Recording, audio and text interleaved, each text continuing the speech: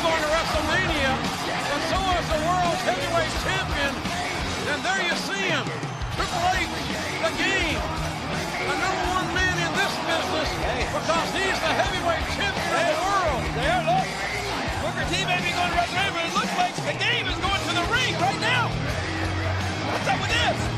Booker T may be going to WrestleMania, but the world's heavyweight champion is going to Booker T,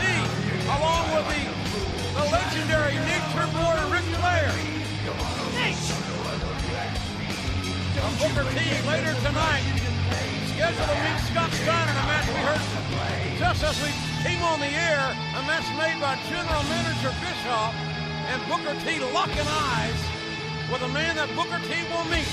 And what about that welcoming committee? Speaking of Eric Bischoff, he's got himself a welcome